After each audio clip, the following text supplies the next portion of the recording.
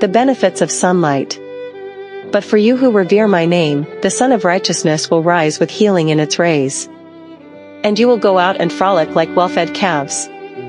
Malachi chapter 4 verse 2. Sunlight gives us many good things. When we get enough sunlight, it helps to kill germs, heal wounds, and make us feel better. It also helps our bodies make vitamin D, which makes our bones and skin strong.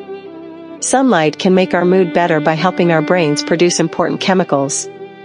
It even helps the food we eat grow, because without sunlight, nothing would grow. Just like how sunlight is important for life, living in God's light is even more important.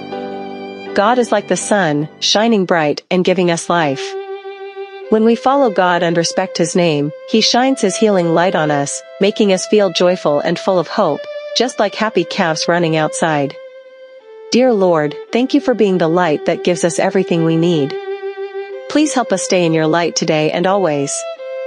In Jesus' name, we pray. Amen.